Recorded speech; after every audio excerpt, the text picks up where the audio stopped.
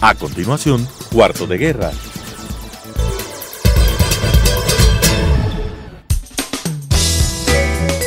Clasificación B, bajo supervisión de un adulto.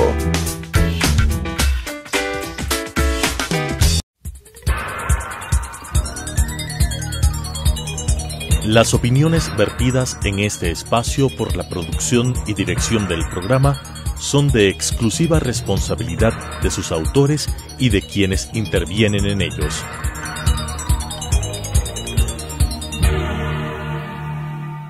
Telesucesos Canal 29 UHF presenta Cuarto de Guerra. Análisis de la coyuntura mundial y nacional, historia, ciencia y literatura desde nuestro cuarto de guerra. Planearemos el lanzamiento de bombas armadas de ideas con palabras. Cuarto de Guerra.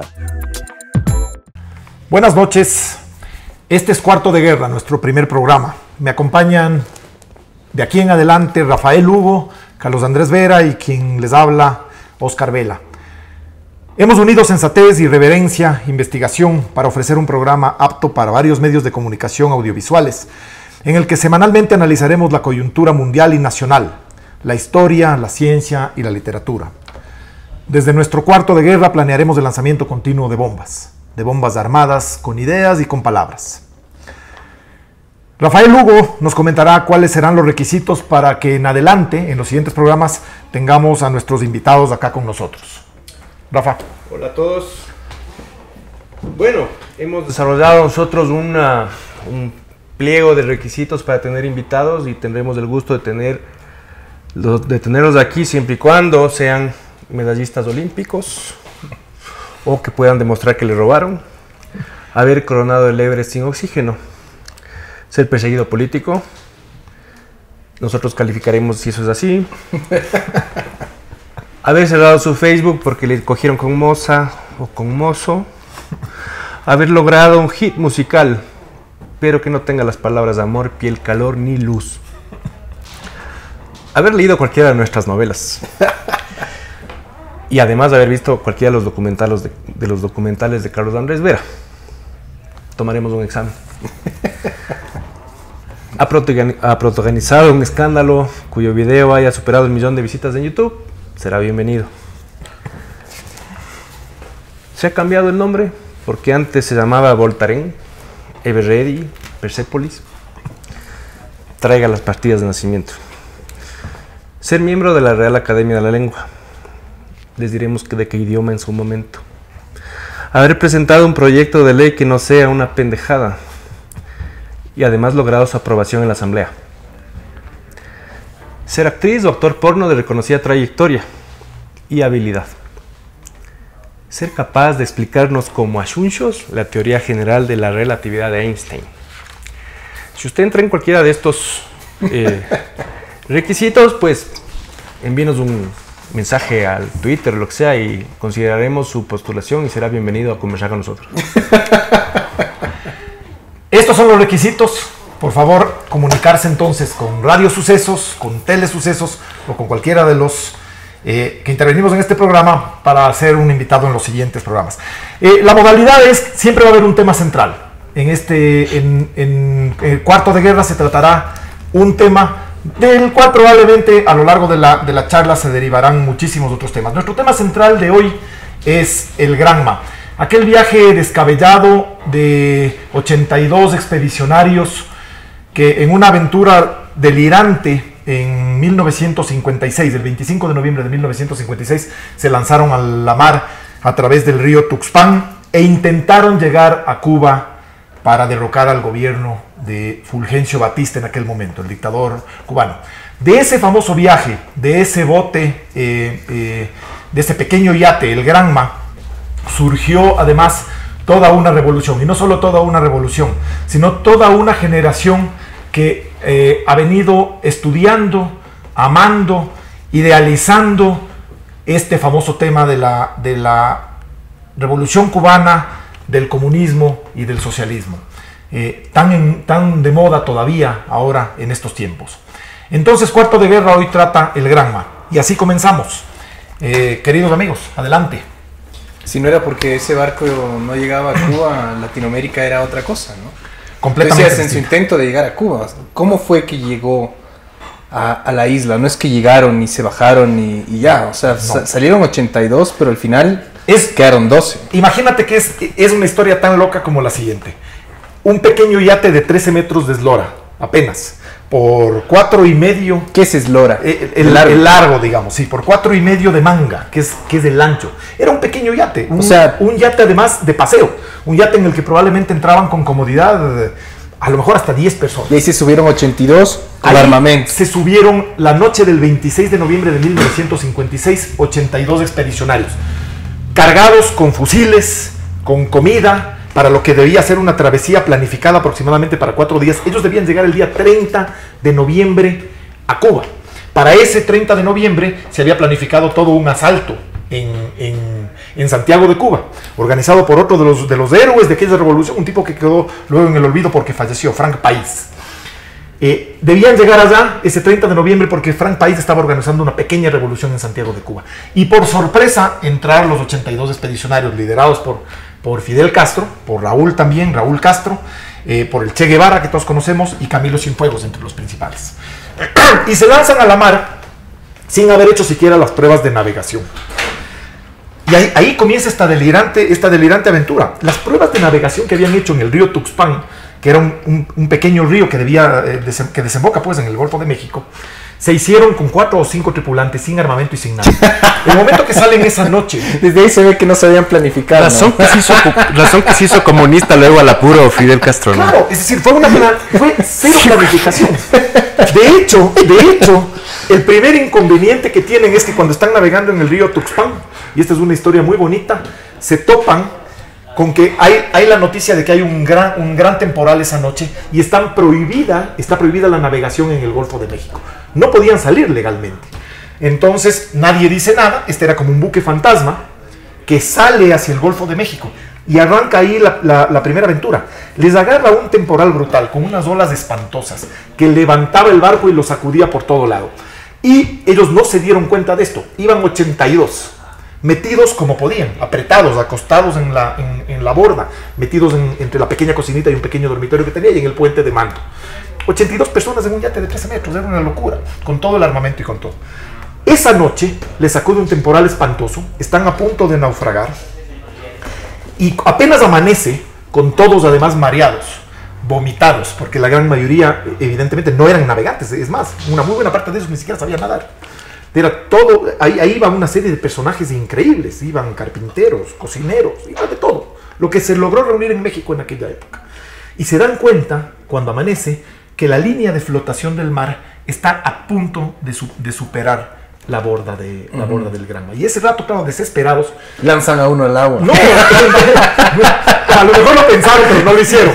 Tal vez, tal vez Sacaron eran todo el 85 día, al final. Con baldes sacaron, achicaron, que se llama en, en términos marinos, achicaron el bote. Sacaron el agua eh, durante todo, todo ese primer día. Y claro, y entre estas y las otras se perdieron, se extraviaron durante toda esa navegación.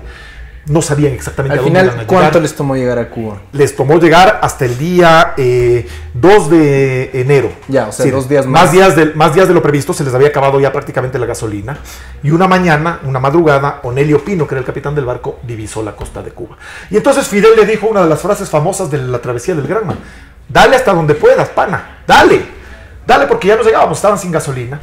Estaban todos agotados, con hambre y le dieron hasta donde pudieron. Y hasta donde pudieron fue un pequeño, un pequeño coral, un, un- un banco, Banco de de corales. Recife. a 200 metros aproximadamente de la costa, de lo que era la costa, que ellos no sabían si era la costa o no era la costa, en una playa que se llama Las Coloradas en la zona de Níquero, en Cuba. Allá llegaron, allá llegaron estos, estos fulanos. Y apenas desembarcaron, Les Muri- recibieron a- a- les recibieron sobre todo a la primera patrulla que era liderada por un señor Juan Manuel Márquez. A, a esa primera patrulla la arrasaron, les, les mataron a todos. Y los que sobrevivieron, porque el Granma, el Granma fue luego bombardeado, estuvo a punto de hundirse, los que sobrevivieron eh, fueron aproximadamente 62. 20 fueron aniquilados el primer día, el primer día de la, del, del arribo del Granma. Los que sobrevivieron el desembarco. El desembarco de ese día. Ya, Eh, ya estamos hablando al de final, diciembre. ¿cuántas- ¿Cuántos son los que se logran meter en la Sierra Maestra? Entran a logran llegar a la Sierra Maestra 12. O sea, y el resto fueron 12. Los asesinados 50 o- restantes fueron o muertos en los días siguientes, porque fue una lucha encarnizada y la verdad es que fue, fue un, les arrasaron. O sea, de- desembarcaban de grupos, en grupos. Claro, desde- desembarcaron ya. en cuatro o cinco pelotones. Ya. Eh, Al primero, chao. El primer pelotón de Juan Manuel Márquez fue arrasado. Los siguientes pelotones lograron entrar efectivamente ya a Cuba. Ya, ya se dieron cuenta que estaban en territorio cubano y entraron y se dispersaron. Y en e- el plan era llegar a la sierra. Tenían un punto en concreto a donde debían llegar, a la sierra. A ese punto en concreto solo llega el pelotón de, de, de Fidel Castro con dos personas más. Llega Raúl Castro, llega Camilo Cienfuegos y llega el Che Guevara. Los, los cuatro personas. Hay una anécdota muy bonita. Cuando llega el último de ellos, luego de siete días aproximadamente, esto es los primeros días de diciembre de 1956, cuando llega el último pelotón de ellos, que era el de Raúl Castro, que creían o que estaba muerto o que había desaparecido, Fidel le dice, ya estamos, esto es suficiente para derrocarle a Batista, somos 12. Y eran 12 con cuatro fusiles, eso es lo que lograron salvar del grama, porque el resto se hundió. Esta es la historia de esta famosa travesía, que además derivó posteriormente, muchos años después, en, en un país eh, declarado comunista, adscrito a la, a la Unión Soviética, Pero cuando hay- jamás en esta revolución se habló de comunismo, ni se planificó que sea una revolución comunista. Claro, Nunca. los que iban en ese barco no eran comunistas. Sí, Solo, solo Che Guevara. Y Raúl Castro. Y Raúl, que tuvieron Raúl sí un antecedente, sí, Raúl Raúl era- siempre fue comunista. Sí, sí. Sí, fue de las, comuni- de las, de, de las De las juventudes, juventudes comunistas. comunistas. de aquella época. Pero nunca hubo una ideología comunista en, en esta revolución. No, sí, sí, Era Fidel- una revolución Fidel Castro independentista y incluso- liberal. Fidel Castro en su gira que hace por Estados Unidos, cuando, cuando ya, digamos, toma el poder, me, me salto un poquito, ¿no? Cuando ya toma el poder Fidel Castro, él hace una gira de, por países buscando reconocimiento internacional. Entonces, en esa época, y lo primero que hace es irse a Estados Unidos, obviamente. Y Eisenhower, que era el presidente en ese entonces, no quiso recibirle nunca. No lo recibe. Entonces, le mandó al final, porque ya era como medio, le dio un poco de pena, a Nixon, que era en ese entonces el vicepresidente de Eisen- de Eisenhower, a reunirse con Fidel Castro. Pero en, ese gira, en esa gira de Fidel Castro, donde podía, decía, nosotros no somos, o sea, no somos comunistas, no somos socialistas, eh, somos liberales, etc. Liberales independentistas. Independentistas. Y de- obviamente había un sentimiento antiimperialista, por supuesto, porque habían sido Bueno, siempre habían estado por piso- imperio. siempre por Estados Unidos, pero- y por los españoles Y antes. por eso mismo había una... Además, ¿qué hace Fidel Castro? Fidel Castro se tumba a un presidente, a un dictador que era peón de los Estados Unidos, que era Batista, ¿no? Batista era básicamente un empleado de un mafioso de casinos. que además era un sanguinario. Que no- y, y Batista, Sí, claro, sí, sanguinario. menos que Fidel, pero también. Sí, un sanguinario. Eh, Lo que pasa es que luego ellos replicaron y superaron, por Claro, supuesto. porque además Batista durante mucho tiempo fue el poder tras el poder.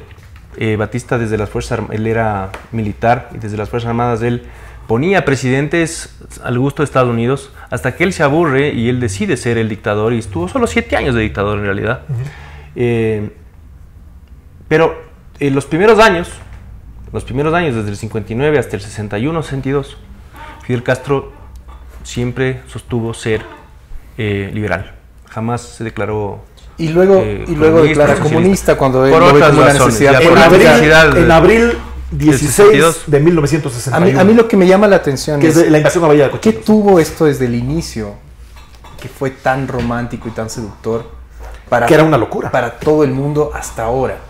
Porque todo el mundo, lo, incluso ahora, incluso después de su muerte a Fidel Castro, lo ven como, no lo ven como un dictador, no lo ven como un Pinochet, no lo ven como a un... Hay gente que le dice padre. Sí, sí, ajá. Fidel, Como un héroe de guerra. Fidel fue, digamos, murió eh, en el poder, murió de viejo en el poder, heredó el poder a su hermano. Y todavía hay gente que no lo ve como un dictador. La propaganda, pues. Le llaman presidente y, o lo llaman revolucionario. ¿Y, y qué tiene, qué, pero qué tiene este caso cubano que sea tan romántico, tan atractivo y que además a los latinoamericanos nos ha tenido embobados por tantas décadas. ¿no? De Hasta diferentes maneras, hasta, Hasta hoy, el día supuesto. Yo día quiero hoy. entender qué pasó ahí. Desde mi punto de vista, Cuba siempre luchó por la libertad, hasta ahora. Así es. Es decir, de ser la última colonia española, de que cuando hay una sublevación de, de un blanco que, que liberó a sus esclavos Céspedes, ¿no es Francisco, que no es- no es- No, Manuel Céspedes. Manuel Céspedes, él inicia una, una la primera insurrección por un tema impositivo, por tema de impuestos con la corona, pero una- eh, luego la corona negocia un poco para bajarles ciertos niveles, pero en Cuba siempre hubo la intención de ser independientes. Y en, y en los siguientes años hay un nuevo intento, pero este intento un poco se queda sin oxígeno y terminan pidiendo la ayuda a Estados Unidos. Contra la colonia española. Contra la colonia española. Lo cual dejó secuelas, porque al final de día Estados Unidos, y esto es algo que lo cuentan los historiadores, cuando, cuando ya se expulsa a España, ¿no? Eh, el ejército estadounidense que estaba apoyando iza la bandera de Estados Unidos en vez de izar la bandera cubana en la isla. Y a, y a partir de ahí se, se genera un protectorado, se, eh, existe, existe la enmienda Platt de este... De este Que eso se da entre el 2 y el 3. de este senador de. Estados Unidos que lo que quería era proteger las inversiones de Estados Unidos, porque de todas maneras, pese a que era colonia, había inversiones de Estados Unidos, etcétera, etcétera. Y entonces Cuba nunca se logró sacudir tampoco de la situación de tener Estados Unidos encima. Pero es la historia de Latinoamérica. Pero o sea, no ta- yo creo que no ¿por tanto... qué, por qué Cuba no- se vuelve un ejemplo? ¿Por qué se vuelve Porque Pero un país Cuba era nunca más pero es un espectacular, país que en la práctica nunca logra su libertad. Nunca logra su libertad. Porque si, Incluso si- después de Fidel Castro, dices tú. por supuesto, sí, No, sí, por supuesto, sobre jamás. todo... Pero no debería Tanto- ser atractivo por eso, entonces no debería ser tan Pero romántico. la historia, la historia de, esta, de este grupo de guerrilleros, de los barbudos famosos, que logran derrotar a, un, a todo un gobierno dictatorial, además un gobierno apoyado siempre por los americanos. Y frentear luego a los gringos. Es, yo, yo por eso siempre creo que hay que dividir esa Sí, historia. sí. La historia romántica de la revolución cubana, el proceso revolucionario cubano, que va desde 1898 en esa primera revolución e independencia de España, cuando no llegan a ser independientes porque se convierten en un protectorado americano. Y entonces, a partir, de, a partir de ese momento, el que gobierna realmente la isla siempre, el y además a base de dictaduras, es el embajador norteamericano. Siempre. Sí. Eso es lo que termina sucediendo en Cuba hasta 1956 aproximadamente. Cuando estos locos se lanzan en el famoso viaje del Granma. Todo muy bien planificado, o más o menos bien planificado, porque ellos, Fidel tenía una convicción absoluta de que lo iba a lograr. Y lo logra dos años después, casi casi tres. Logra, do- dos años en realidad, porque el primero de enero del 59 ellos, ellos triunfan, ¿no es cierto? Y claro, todo era una maravilla ese momento. De hecho, pocos meses antes, quien divulga la historia de los barbudos enquistados en la, en, la Sierra Maestra es el New York Times. A, través de un, famoso periodista, Matthews, le hace una entrevista en la sierra a Fidel, al Che, a todos ellos. Y saca a la luz la historia de estos barbudos que están metidos en la. que están metidos en la.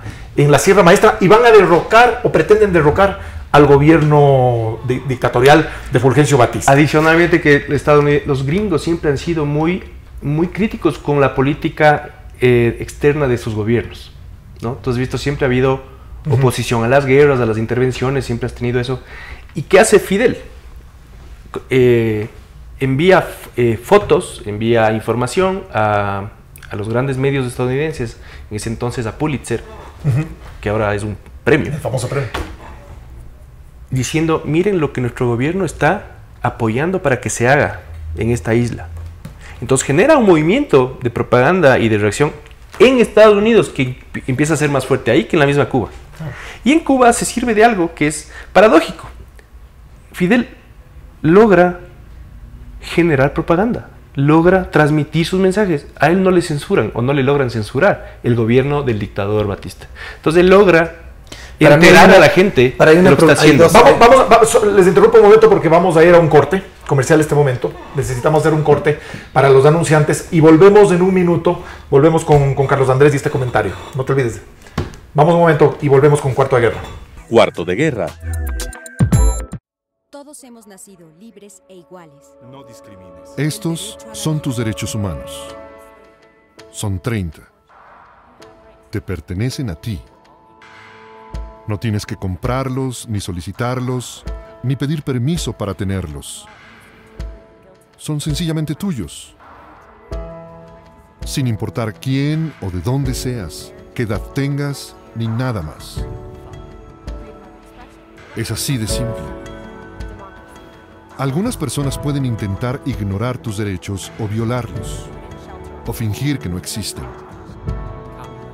Pero no pueden cambiar el hecho de que son tuyos. Derecho humano número 30. Nadie puede arrebatarte tus derechos humanos.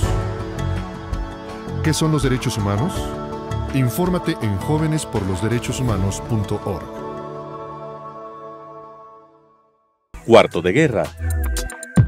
Seguimos con el eh, cuarto de guerra. Carlos Andrés, estabas comentando tú. Para mí hay un tema con, el, con la propaganda y es que hay una propaganda que es la interna, la que tú manejas desde el Granma, que fue, digamos, Orlando Pérez sabe muy bien de esto porque él manejó el telégrafo hasta hace poquito, que es esa propaganda este, de Estado que pretende manipular la mente de los ciudadanos que leen el diario, en donde se intenta que solo haya una sola visión sobre las noticias, en donde se muestran solo las noticias que convienen, etc. Pero hay otra propaganda mucho más sutil y mucho más complicada, que es cuando tú empiezas a hacer cierto tipo de, de beneficio social como propaganda. y, en do- y- y- y también cuando la expresión cultural se convierte en propaganda. Porque, por ejemplo, ¿qué sentido tiene darte salud y darte educación si no tienes libertad? En ese momento, la salud y la educación son banderas de propaganda para el continente, para el resto de países, en donde además hay serios problemas de salud y educación. Entonces, miren, en Latinoamérica, Cuba es un ejemplo, Cuba es un ejemplo, y se convierte esto en, en propaganda. En Cuba no hay niños con hambre, en Cuba no hay niños desnutridos, en, ni- en Cuba todos los niños van a la escuela, en Cuba no hay analfabetismo, pero no hay libertad, te olvidas de eso, te olvidas de lo esencial. Si tú sales a protestar contra el gobierno, te vas preso. Tú no puedes hacer tu partido político, tú no puedes escribir lo que tú quieras en un periódico, tú no puedes publicar lo que tú quieras en la, en la televisión. Eso está prohibido, eso es delito en Cuba. Pero en Cuba hay, hay alimentación y hay salud. Eso es propaganda. En ese momento lo social se convierte en propaganda. Y otra más sutil es cuando, cuando el arte, cuando los artistas, cuando los intelectuales se alinean con todo esto y crean todas estas manifestaciones culturales que terminan siendo propaganda. El fenómeno Silvio Rodríguez, por decirte un ejemplo. ¿no? Todo el mundo canta Silvio Rodríguez. A mí me encantan las canciones de Silvio Rodríguez. Este, Y todas tienen un contenido revolucionario. Todas tienen un contenido, ajá, la, la- la gran parte de sus canciones tiene un contenido revolucionario y son románticas y, y te emocionan y lloras cuando las cantas y, te, y toda esta euforia que es real, que es auténtica. Por supuesto. Pero el cubano está cagado en, en- en- en la mitad de La Habana, en centro Habana, armando una balsa de manera clandestina para salir a Miami. ¿Ya? Y muriendo en el Es que ahí viene la parte romántica que Es tú increíble. es- una parte muy romántica. O sea, esta, esta no es solo una propaganda que tú planificas desde tu Ministerio de Comunicación estilo gran hermano. Esta es una propaganda que se vuelve absolutamente am, auténtica, si tú quieres, por parte de, la- de los intelectuales y de los artistas. Bueno, hay un Y es fundamento. una de las cosas que a mí más me ha llamado la atención de Cuba hasta ahora. ¿no? Es que- es que- a, es a que- Cuba le- le- le- los artistas le tienen, le tienen, tienen esta tendencia a hacer odas a este modelo de represión ultra cruel, porque, porque te da esos beneficios a cambio de coger tu identidad y tu libertad. Ahí está el antiimperialismo. lo algo que le cantes al Estado y a Si tú revisas la historia de dónde, de dónde el socialismo se logró imponer, tú entiendes. Es decir, cuando tú vives eh, situaciones de, de- de- de- de injusticia social de, de- de- de décadas o de siglos, un discurso de, de- de justicia social, no, hace, no tienes que hacer mucho esfuerzo para venderlo. Entonces, sí, por supuesto que hay propaganda, pero también hay una realidad. Lo que pasaba en Cuba era una situación de injusticia terrible. Tenías vos entregado el país a Estados Unidos, la mayoría de las, de las plantaciones de, de azúcar pertenecían a empresas eh, extranjeras. No tenías vos. Había, bueno, hubo esclavitud hasta, Hasta hasta principios, del siglo XX. Entonces, que tú llegues y digas, yo voy a primero darnos independencia, y esta independencia nos va a permitir recuperar para nosotros eh, lo que produce nuestro país. No hay que ser La soberanía. pero no hay que ser tan locos como para... Como, es decir, no se le puede echar la culpa solamente a la propaganda, ni se le puede echar la culpa a que la gente prefiere la educación a la libertad. Efectivamente tienes una situación terrible. ¿Cómo llegan los, los cómo llega la revolución de- del 17 a Rusia? Pues tienes un- un- un- una etapa de zares, donde solo los zares comían y el resto de los rusos morían de hambre Y unos excesos brutales. y unos excesos Los lujos brutales. Ahora, ¿qué es lo que pasa con los socialistas? Que ellos se convierten luego en los ares. No te olvides No que es que solución, no digo que han, sido, el que han contexto- solucionado. el contexto ¿no? histórico Pero llegan en un momento perfecto para ellos porque llegan a, a- a decir que van a solucionar, luego lo, lo empeoran, pero encuentran O sea, lo, que yo quiero, lo que yo quiero poner sobre la mesa es que muchas veces lo social se convierte en propaganda y te toma un tiempo darte cuenta o no te das cuenta. Y es cuando lo social es un pretexto para perenizarse en el poder. Por supuesto. Entonces, cuando tú, en- tú como gobernante haces cambios sociales importantes, pero luego los usas como bandera para no irte, entonces estás usando lo social como propaganda. por supuesto. Y es una forma más sutil de propaganda, más complicada de, de- de ver, porque no es el anuncio, no, no es el cartel, no es el periódico Así es. oficial, no es eh, la sabatina. Es algo mucho más complicado. Es sí la obra social, o es la carretera, o es la escuela, pero atrás de todo ese proyecto lo que hay es un proyecto de es, no es la gente, el fondo, No, por o el supuesto. final, o el fin. lo más que- no te importante de la que- revolución fue la megalomanía de Fidel. Claro, pero no te olvides que el importante. contexto histórico jugó un papel fundamental aquí en todo esto. Estamos hablando de ple- plena Guerra Fría, se había terminado la Segunda Guerra Mundial y el mundo de alguna forma se comenzaba a dividir entre las dos grandes potencias, la Unión Soviética y los Estados Unidos. Y esa división ya se había producido en Europa, ¿no es cierto? Con toda la historia que nosotros sabemos y cómo se dividió, por ejemplo, Alemania. ¿Qué sucedía eh, en, América en aquel momento? América, en principio, estaba absolutamente dominada por los norteamericanos.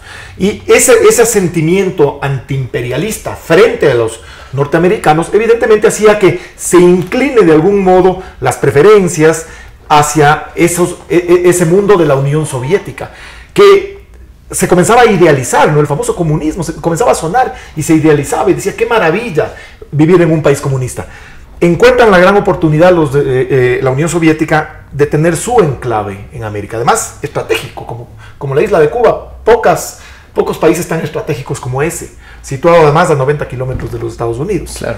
Y en Ideal América, para poner misiles. y en 1961, cuando se produce la invasión a Cochinos, la, la- la famosa batalla de, de Playa Girón, que fue un error enorme de los gringos, un, un error histórico, ese día, el 16 de abril de 1961, aprovecha Fidel Castro para declararse por primera vez, habían pasado dos años y medio casi de la revolución cubana, que hasta ese momento, yo te diría, hasta el primero de enero de 1959, era romántica, maravillosa, era toda una epopeya, porque fue una epopeya, 12 tipos lograron armar un ejército que luego se convirtió en un ejército de miles de personas que derrocaron a un gobierno. Esa es una historia increíble y maravillosa, preciosa desde cualquier punto de vista, más allá, evidentemente, de lo que conlleva una guerra. Pero recién dos años y medio después, casi en abril del 61, Fidel dice día, nuestra revolución es comunista, marxista y leninista. ¿Por qué? Porque con Khrushchev ya habían arreglado el tema económico. Cuba estaba quebrada, absolutamente quebrada desde la época de Batista. Batista se llevó lo último que quedaba.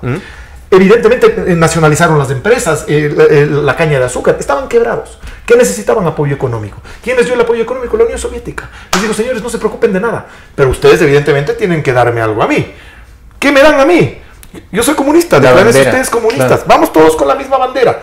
Y ahí nace el famoso comunismo. Y ahora derivado en el socialismo y todos los socialismos que En, tenemos. en aquí. eso también hay que recordar, Estados Unidos es campeón en equivocarse y despertar unos nacionalismos Claro. y unas eh, reacciones impresionantes en ciertos... La historia de Irán, por ejemplo. en, el año, en el año 1953 Estados Unidos se mete a tumbarse un presidente que había tenido ciertas posturas nacionalistas, ¿no? Y se lo tumba y le pone a Shah. El Shah es el de ellos, claro. El Shah es el de ellos. El resultado es luego Ayatollah Khomeini. Los ayatolas. se Y lo que tiene hasta ahora. Y en Cuba pasa lo mismo. ¿Por qué? Ok, Fidel ya se bronquea. Eisenhower deja armando una estrategia para la... Para la pero él, él será Para la militar- invasión. para la invasión. Para la invasión. Llega Kennedy, que no sabía de la... Y se niega primero. Se no sabía, Sí. porque pensaban que Nixon iba a ganar, que el vicepresidente Eisenhower, llega Kennedy y le dice, ah, cierto, eh, eh, John, Tenemos, oye. Johncito, aquí tenemos este, este plan para invadir Cuba. invasión. Y él se queda loco y, y se rehúsa por mucho A tiempo. y mientras en se está rehusando, Claro. empieza a cambiar la estrategia de Eisenhower. Porque la de Eisenhower era una, era una estrategia bien armada como para que sí funcione. Y Kennedy al final reúne 1200 cubanos exiliados y les suelta a que se vayan a la Bahía de Cochinos. Quisieron Pero- jugar a la guerra de guerrillas. ¿Qué se- y, y qué les pasó? Pues, intentaron. que la, que la, la inteligencia cubana siempre sabía lo que, lo que estaba pensando hacer es Estados Unidos. claro. Por eso nunca le pudieron matar a Fidel. Porque Y por eso Kennedy se pasó años tratando de matar a Fidel. Así es. Nunca pudieron. Y entonces cuando llegan les reciben y les barren. ¿Y qué hicieron luego? Cuba le ganó una guerra a Estados Unidos. les masacró, pues. Claro, la famosa batalla de Playa y, aparte, arrasaron. y aparte, ¿quién en Latinoamérica iba a estar de acuerdo? Digamos, más allá del tema ideológico, que todavía no era tan grave en ese entonces. Claro. Que los gringos manden una invasión a Cuba, pues. Pero si hasta no nos gustó cuando se comieron a Noriega en Panamá, porque es feo que te invadan así, ¿no es cierto? Por más pragmático que uno pueda hacer y que resulte buena idea. Entonces se generó también, ahí tienes un una otra razón más del sentimiento antiimperialista, porque Latinoamérica, vos sabes que cuando, cuando, cuando el pequeño le pega al grande, los chiquitos todos nos alegramos. ¿Vos, ¿Vos crees que el proyecto de Fidel fue siempre morir ahí en el poder? O sea, ese es desde, desde el 59. Periodizarse, sí. Ajá, desde el 59, en que el man, desde en que el man llegó al poder, el man dijo, el man en, en- en el- en su foro interno sabía Por supuesto. que ahí se iba a morir, y que que ahí se- iba a morir su hermano y Al que se opuso le bajó. A ver, parte- al primero, al primero que, que desaparece Fidel es a Camilo Cienfuegos. ¿Por qué? Porque él no estaba de acuerdo con el tema soviético. Y en Camilo también había otra cosa, ¿no? Con Camilo Cienfuegos tuvo, parece que tenía eh, mucha envidia. Y era un ídolo. Porque Camilo era un tipo que también arrasaba. Arrasaba la De hecho, los, arrasaba. los ídolos fueron... Porque fue Camilo, Camilo, de- el Che y él. Y porque fue Camilo el que liberó La Habana, pues. Y cómo se fue sacando de en medio a quienes le podían de alguna forma a él eh, obstaculizar. Cuando era un tipo muy vanidoso. finalmente pero el Che y Camilo eran unos tipos también muy admirados. ¿no? Cuando finalmente triunfa Fidel Castro, él llega por Santiago, Cuba. Y Camilo se toma La Habana. Entonces Camilo llega y él es el, el libertador de La Habana. Y cuando Fidel se entera de esto, declara capital de Cuba a San- a Santiago de Cuba. Y ahí arranca la ahí. famosa marcha de ocho Luego días. se va hasta allá, llega a La Habana y le devuelve la capital a La Habana. Entonces La Fidel de siempre quiso ser él, el, on- eh, the, one El and only. Y a Camilo Cienfuegos, le- le- que, que luego además empezó a- a criticarle a él internacionalmente y adentro. Hay, hay una serie de personajes. le perdieron Rafa, en un avión. Rafa y Carlos, hay una serie de personajes en la Revolución Cubana que son una maravilla. Yo les voy a recomendar eh, eh, que vean un documental que se llama Tony Gui- Guiteras. eh, eh, de Paco Ignacio Taibo II. Lo encuentran en, en cualquier lugar y, y si lo pueden leer. Un documental de 40 minutos. Tony Guiteras fue uno de los grandes, grandes personajes preludio de esta revolución cubana. Él murió en el año 35, eh, fusilado ya porque en ese momento era todavía coronel Fulgencio Batista. Fusilado porque era el gran héroe de esa primera de- intentona de revolución, de los chicos jóvenes. Fidel no aparecía todavía en el espectro, pero Tony Guiteras era un personaje maravilloso y ese documental vale la pena, vale la pena que lo lean. Eh, un personaje al que conocí yo, revolucionario y expedicionario, sobre quien acabo de escribir la nueva novela mía, me decía, si es que Tony Guiteras hubiera vivido efectivamente, él habría sido quien gobierne Cuba. Y no habríamos llegado jamás a lo que llegamos con Fidel. Y más aún me dijo, si es que Frank País, que fue el otro personaje, que también murió mientras se daba la batalla de la Sierra Maestra, él no estuvo en la Sierra, pero, pero fue parte de los que llevó muchos soldados a la Sierra. Si es que Frank País hubiera sobrevivido, a él parece que, que- que le mataron en un complot y ahí se cuenta algo de la historia contada por este personaje que les digo, por César Gómez Hernández, que es el personaje de la novela, eh, real además, de parte de los expedicionarios del Granma. Él cuenta allí que también era Frank País el que estaba llamado a ser el líder de Cuba, porque era un personaje tremendamente carismático, inteligentísimo. ¿Qué pasó, un hombre brillante, también murió. Él, él muere, Frank País muere en el 58. poco ¿A él lo fusila Batista, es esto? No, a, a Tony Guiteras. Tony Guiteras. A, a Frank País le agarran en un complot, Fulgencio Batista también, ya como gobierno, y le matan. Y eso es impresionante porque mira, Había unos personajes increíbles. Fulgencio Batista en una, en una cuando se quieren tomar el, el- el cuartel Moncada, que es antes de Grama, Fidel y unos pocos, se quieren tomar el cuartel Moncada, ¿no es cierto? Mueren los, los, los sediciosos, cae preso Fidel Castro y varios de, de ellos en la época de Batista. les, de- eh, les condenan a 5 o 6 años, pero a los años, al año y medio les, les, Les liberan. les liberan. Y es cuando se van a México. Y les, le van- o sea, Batista mata a algunos, menos a él. Y le libera. Y, y ahí es cuando se van a México y, allá- y allá empiezan a armar nuevamente la, el, el regreso a Cuba. Es, o sea, Fidel Castro, es, eh, creo que hasta, hasta por esas cosas él probablemente se creía un enviado de alguien. Pero es que Batista nunca se imaginó. yo, debo yo viví en Cuba y cuando yo fui a Cuba tenía 19 años. Yo, yo era yo era yo era ingenuo. Yo pensaba que todo esto toda esta ut- utopía era real. Pero a mí me tomó unos seis meses más o menos. qué año estuviste tú ahí? En el, yo fui en el 2000. Ya. Y allá además una de las cosas que me hizo cambiar de opinión es la historia de un personaje que se llama Osvaldo Payá. No sé si le suena.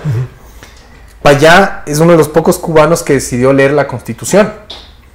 Y el man leyó la Constitución y encontró que había que era constitucional si es que tú reunías 10.000 firmas o más, llevar es- esas firmas a la asamblea para exigir reformas legales. Entonces, Payá, en, do- en un periodo más o menos de dos o tres años, recolecta más de 11.000 firmas y, las, y se atreve a llevarlas a la Asamblea en el año 2001. Yo estaba en Cuba. Y él quería introducir reformas como elecciones libres, libre asociación, libertad de expresión, más de un partido político, o sea, cosas que ahora parecen obvias, eh, las quería introducir. Y lo hizo de manera legal, no lo hizo de manera, digamos, subversiva. Lo hizo de acuerdo a lo que decía la Constitución. Al otro día, Fidel Castro dice, va, mañana va a salir Cuba a firmar por la revolución. Y entonces pude ver cómo funcionaba el aparato del Estado para intimidar a las personas para que firmen. Y cómo los que no firmaban se morían de miedo de no firmar porque Reprimido, seguramente. podían, podían sufrir múltiples opciones de consecuencias, ¿no? Hostigamiento del Estado, o te quitan la canasta semanal que te dan de alimentos, este, te, te- te marginan en tu trabajo, te hacen repudios públicos, hay múltiples acciones que hacen contra la gente que no firma. Y vi como gente que detestaba el proceso, que ya no quería a Fidel Castro, que estaba harta, firmó por la revolución. Al otro día Fidel en todo el país sacó a la calle a más de 3 millones de personas a firmar por el socialismo y así fue como enterró las 11.000 firmitas de Payá, cuya asamblea jamás pues le dio paso a Payá. Payá murió en el 2012 en un accidente de tránsito y la familia ha dicho múltiples veces que ese día les persiguió un auto que lo sacaron de la carretera que fue un El asesinato. que conducían un español. Conducía un español. Fue un asesinato. Pero claro, el español, el español este eh, en un principio declaró que él perdió el control Claro, y, y- y le dieron seis, seis o cuatro años de prisión por asesinato involuntario al español. Pero cuando este español sale. sale, en la primera entrevista que hace con, en, el- en Estados Unidos, dice, no, a mí me obligaron a decir eso. ¿Qué es la historia de Berto Padilla? Sí, A mí, historia a nosotros nos sacaron de la De Padilla y de muchos de- otros. del escritor, del sí, escritor que tuvo que renegar de toda su obra y luego vivir marginado. ¿no? Entonces, es, es, digamos, yo cuando estuve allá me di cuenta relativamente rápidamente, pero para mí sí fue un abrir de ojos, de decir, no, esto no, esto no, esto no es lo que dicen que es, esto no funciona, aquí la gente realmente no está feliz, aquí la gente realmente está comprimida y me llamó mucho la atención que muy pocas cosas funcionan, pero si algo funciona es el sistema de vigilancia y de represión. Vamos a volver Es- otra vez. Vamos a volver un momento para, para llegar a las conclusiones, recomendaciones de libros. Ya se nos está yendo el tiempo. Se nos ¿no? está yendo el tiempo. Eh, eh, volvemos en un instante. Vamos a comerciales. Cuarto de guerra.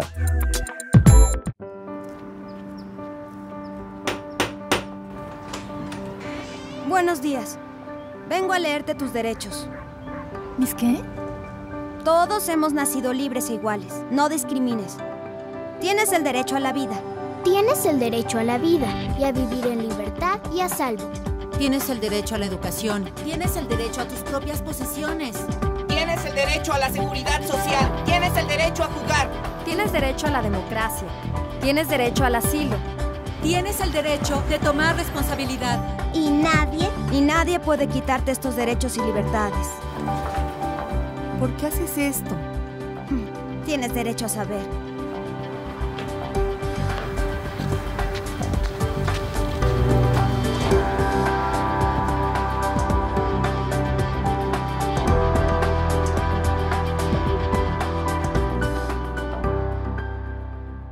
Cuarto de guerra.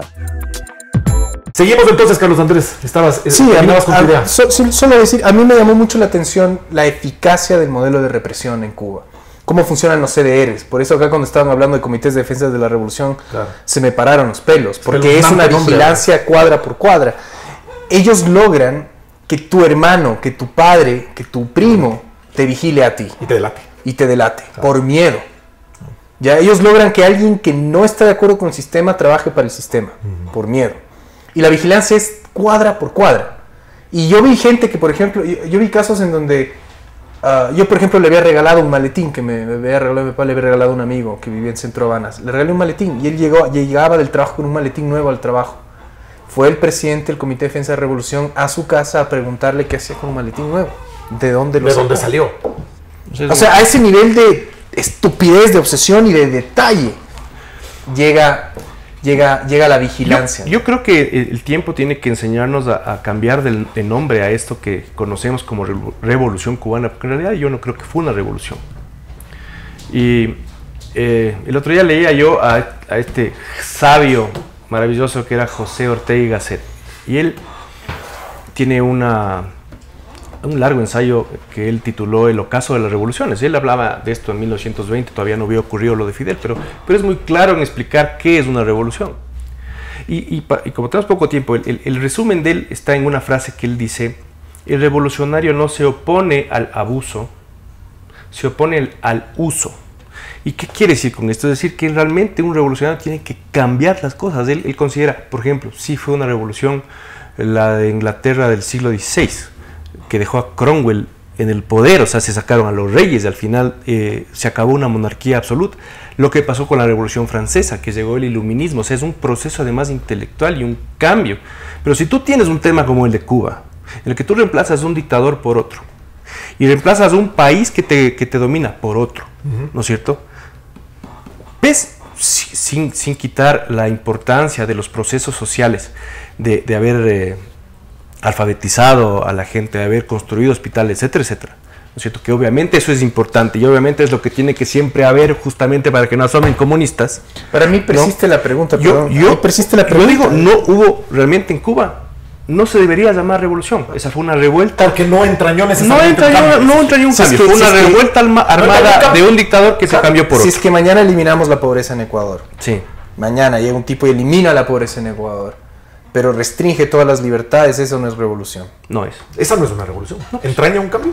Por, por eso, es, es- sí, sí entraña un cambio, porque Un eliminas cambio la pobreza. negativo. En ese caso. No, porque eliminas la pobreza. Es que esto es el gran, este es el gran, hasta... Pero no puedes eliminar una cosa, un, Yo estoy de acuerdo, no puedes eliminar un derecho, un humano a cambio de otro cambio de derecho humano. pues. Además, además de un. de un- Ya, entonces convengamos que libertad es De un no una parte ni algunos, sino todos Es- los derechos. O sea, hay Por todos supuesto. los derechos. Es y mientras, mientras, mientras no hay un ejercicio pleno de todos los derechos, No hay una revolución. no hay Y revolución. hay derechos que prevalecen. No, no en la modernidad, La porque vida tal y la libertad son derechos esenciales ya, del pero ser no- además, claro, en los tiempos de la Revolución Francesa y todo, en estos tiempos no cabe re- un- llamar algo revolución si no hay plenas libertades. Yo diría que la ¿Verdad? única Y si revolución no entrañan necesariamente un cambio con ejercicio de plenas libertades. podría haber sido a la, Al menos- la, la de China, la de Mao, la de Mao. Esa sí creo yo es una revolución. No porque, digamos, sin tomar en cuenta la ideología, pero realmente un cambio.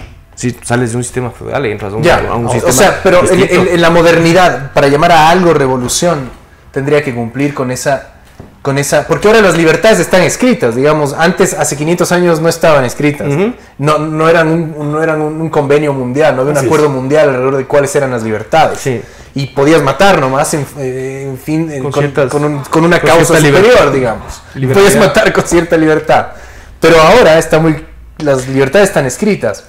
Y cuando están escritas, no es que tú puedes decir, mira, sí, tu derecho humano a una educación está garantizado, pero tu derecho humano a la libre expresión o tu derecho humano a la movilidad o tu derecho humano a, a lo que sea, no existe. Y además, Ergo, y además que te digan, tienes que renunciar a tu derecho humano a la libertad para que además, para que puedas comer y tengas tu derecho humano a comer. O tienes que renunciar a tu derecho a libre asociación o a tu libertad de expresión para que tu hijo pueda tener una escuela o una... una- ya, pues que ese es un Eso tema, no es una revolución. un tema muy vigente, ¿no? Con Eso eso, no nos es- han es- lavado Los la derechos, sí, pero los derechos no. lo- Tú no puedes. Porque acá también hemos tenido un una revolución. No puedes Hay que cambiar derecho verdadero nombre. Esa tampoco ha sido Existen nunca una- nombres para una eso. revolución. Es una revuelta. Lo que pasó acá. Lo que pasó en Cuba fue una revuelta. Lo que pasó acá, ¿qué? Ni siquiera eso. Ni siquiera es una revolución. Pero no es una revolución. No, no es una revolución. Ahí O sea, en eso tuvo razón el que sabemos. les propongo que hagamos una cosa antes de, revolución a antes de cualquier hacer una conclusión respecto de este tema de- del granma, de la revolución cubana y de la ideología que derivó de todo esto que sigue vigente hasta hoy, sobre todo en Latinoamérica. Eh, pero les propongo que hagamos una recomendación de los libros que traemos, de películas. Ese va a ser también una tónica necesaria, necesarísima en este programa. Y terminemos. Eh, y tal vez, Carlos Andrés, comenzamos por ahí pero, y luego hacemos una conclusión. pero luego terminemos, no, más que conclusión. A mí, yo sí quisiera que empezar a hablar de tu novela, la que viene. ¿Por qué? Para tu novela tú entrevistas a uno de esos 12 sobrevivientes del Granma. ¿Cuántos quedan? de esos cincuenta y tantos, de esos no es de los que están haciendo. De no, los, no llegó a la sierra. No llega a la de Ya, los cincuenta y tantos, ¿cuántos quedan vivos? Hoy, Eh, no se sabe con exactitud porque hay muchos que están desaparecidos. Muchos se, muchos Y- se y- escaparon de fila. Muchos están desaparecidos, enterrados, y no se sabe con exactitud. Desaparecidos vivos o muertos, no, no, Ya. no se tiene la certeza, pero aproximadamente, según los cálculos y al final de la novela, yo hice una relación Pero, de pero es un hecho, es uno un de hecho ellos. que Fidel persiguió Por supuesto. al- a, A los a la gran mayoría de los Al- que iban en a ese los- barco. a los disidentes, a los disidentes de, de su que socialismo. terminaron siendo una una gran gran mayoría. mayoría. Sí. Fueron una gran mayoría. Es que no eran socialistas. Al final de la novela van a encontrar ustedes un, un apartado donde están eh, la historia de los 82. De esos 82 hay aproximadamente 9 o 10 de los que no se sabe ¿Qué edad tiene eh, la persona que entrevistaste? 99 años, tiene 99 años, todavía está vigente. ¿Cómo se llama? César Gómez Hernández. César Gómez Hernández. Expedicionario, era el mayor César Gómez Hernández en el, en el Granma. bestia. Y bueno, él vive todavía y estará próximamente aquí en Quito también para el día que presente. Si tiene 99 años, ya era veterano en esa época. 40. Él nació en Tenía- 1918. O sea, tenía 40 y pico de años. Claro, él era, de, de hecho le decían el viejo porque además tenía el pelo, Claro. el pelo encanecido pre- prematuramente, había sido encanecido muy joven. O sea, oro- decían oro- viejo, su apodo. O sea, mandarse esa aventura a los 40 y pico de años. Oye, Sí. imagínate Pero lo que siempre es- Imagínate lo que va a ser presentar una novela con el con todo el testimonio de este hombre. Y lúcido además. lúcido. Absolutamente, absolutamente. Alguien que, alguien que en el alguien que tuvo que escapar de, de- de Castro, alguien que cuenta la historia de lo que realmente era la idea original. Me parece genial y que tuvo que, Esa es la teórica que esconderse la- de, de su propio amigo. Claro, esa, fue la, esa es la tónica de la novela, ¿no? Él quiere contar un poco por qué la revolución nunca fue comunista ni socialista. Originalmente. sino liberal, independentista y antiimperialista. Y él me, di- me dice hasta ahora, yo siempre he sido liberal, independentista y antiimperialista. Jamás he pisado los Estados Unidos de Norteamérica, ni lo pisaré jamás. Esos eran mis enemigos. Pero yo nunca fui Claro, comunista. Tampoco peón. Entonces vamos con las recomendaciones. Tal vez, Andrés, comenzamos por allí. Este, a ver, yo traje algunas cosas. Una de las cosas que a mí más me, me- me gusta es Memorias del Subdesarrollo. Es una pelea, una- ya la vamos a poner igual en el podcast. Es una, una película de Tomás Gutiérrez Alea. El vir- la, la virtuosidad de esta película es que se filmó en el 68, o sea, en pleno apogeo de la revolución cubana, Claro. revolución entre comillas cubana para, para seguir la línea de Rafa. Este, cuando todo el mundo hablaba maravillas de ella, y dentro, dentro y fuera de la isla, y, y dentro de la isla, Titón, que es el apodo de Tomás Gutiérrez Alea, se manda esta película que es la historia, en resumen, de un hombre que no empataba con la revolución, un hombre de clase alta, cuya familia se va a Estados Unidos, huye del país cuando viene la revolución, y se queda viviendo solo en su departamento como un testigo de todo lo que está sucediendo en el país, pero no es un testigo ni a favor ni en contra, es un testigo apático de lo que ve. Y esa mirada apática, esa mirada crítica, esa mirada poco entusiasta de lo que está sucediendo es la mirada a la vez de, de Tomás Gutiérrez Alea, que pone diálogos en el personaje como cuando está mirando la, la estatua que dona Picasso a, a La Habana y dice, "Eh, muy cómodo eso de ser comunista y vivir en Francia, ¿no? O, Millonario, además. O por qué es necesaria una mesa redonda, que allá son equivalentes a las sabatinas, solo que allá son todos los días. Este, ¿Por qué es necesario en una mesa redonda hablar de una revolución cuando tienes una revolución? En una revolución no deberías hablar de una revolución, deberías vivir una revolución. Ya pasó. Ya pasó. claro. O la ¿no? estás viviendo. Y es una mirada absolutamente apática, pero además futurista, porque en esa época esa mirada no existía. ¿no? Y Titón tuvo la, tuvo la visión y la, y la, digamos, la claridad, la claridad mental, como para hacer una obra de ese tamaño, además dentro de Cuba, siendo cubano y dentro del sistema de cine cubano que nunca entendió esta película. ¿no? Este, y de ahí otro, otra, otra joya de lo que es la Cuba moderna es Sweet Habana, que es un documental de Fernando Pérez. Es un documental casi sin diálogos, observacional de cuatro personajes en Habana en, en- en los tiempos modernos, ¿no? en donde realmente el, el- el feeling de esa ciudad se transmite, pero no desde la perspectiva política, aunque la política está en todo, está en la arquitectura, está en la geografía, está en la decadencia de las cosas, ¿no? está en el vestuario de las personas. Pero esto es desde los personajes, porque al final del día son personas, son personas que tienen que vivir eh, una vida complicadísima en, en circunstancias súper, súper, súper complicadas, súper difíciles. ¿no? Eso, eso porque ustedes trajeron libros, entonces yo me guardo mis libros también. Eh, eso Rafa. al cine. Bueno, yo, eh, yo recomiendo este libro del que, que mencioné, incluso que cité a José Ortega y Gasset. Cualquier libro de él vale la pena.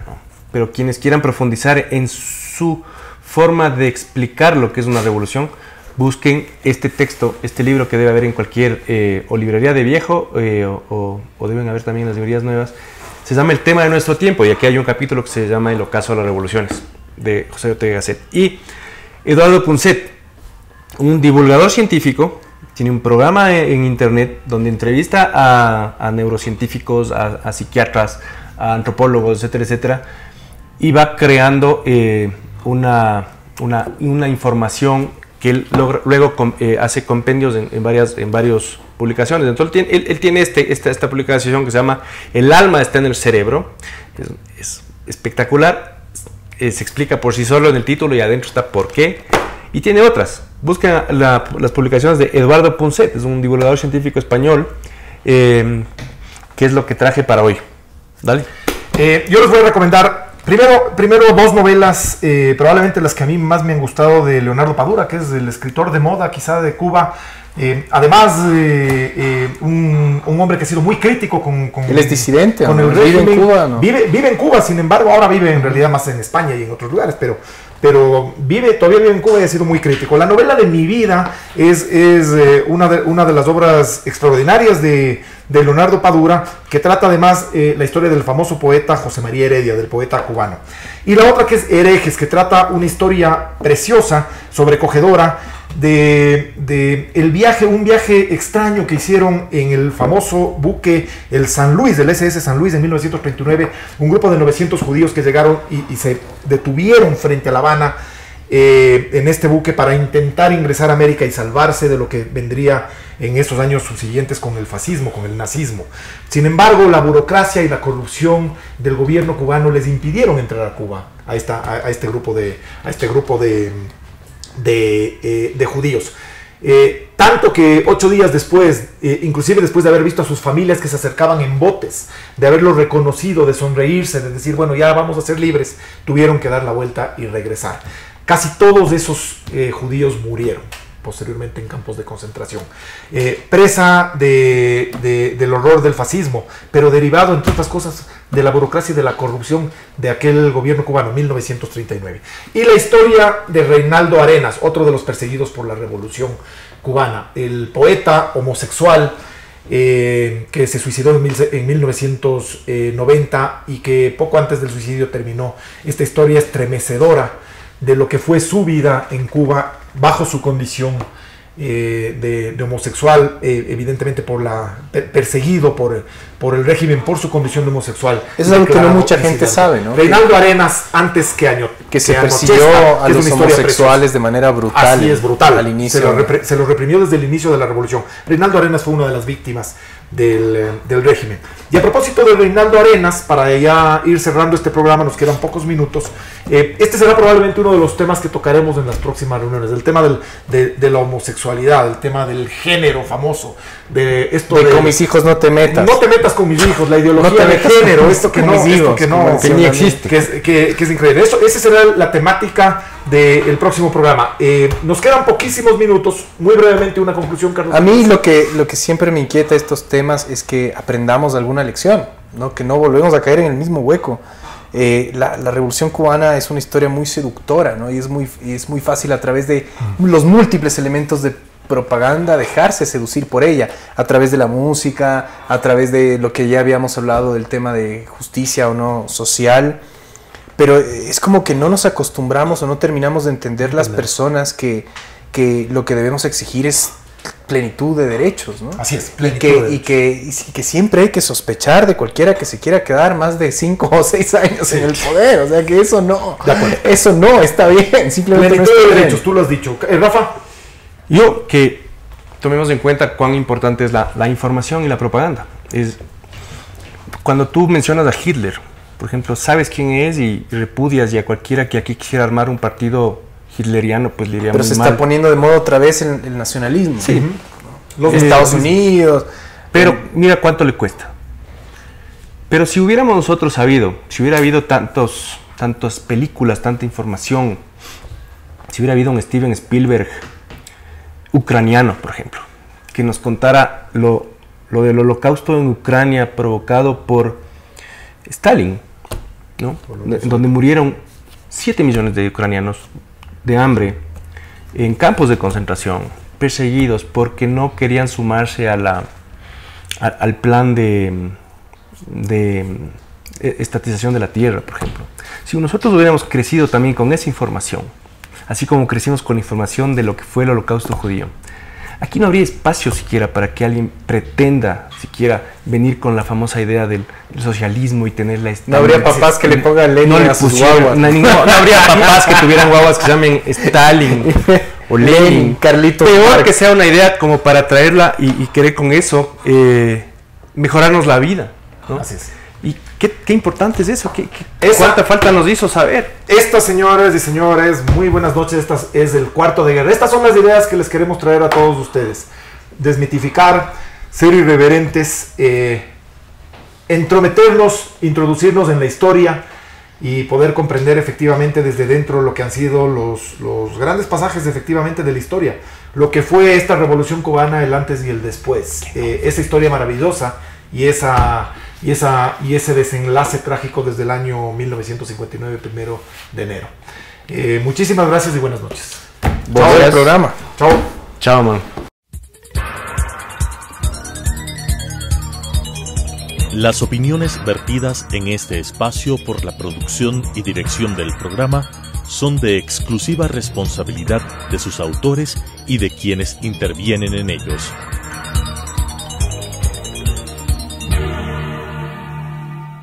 Telesucesos Canal 29 UHF presentó Cuarto de Guerra. Análisis de la coyuntura mundial y nacional, historia, ciencia y literatura desde nuestro cuarto de guerra. Planearemos el lanzamiento de bombas armadas de ideas con palabras. Cuarto de Guerra.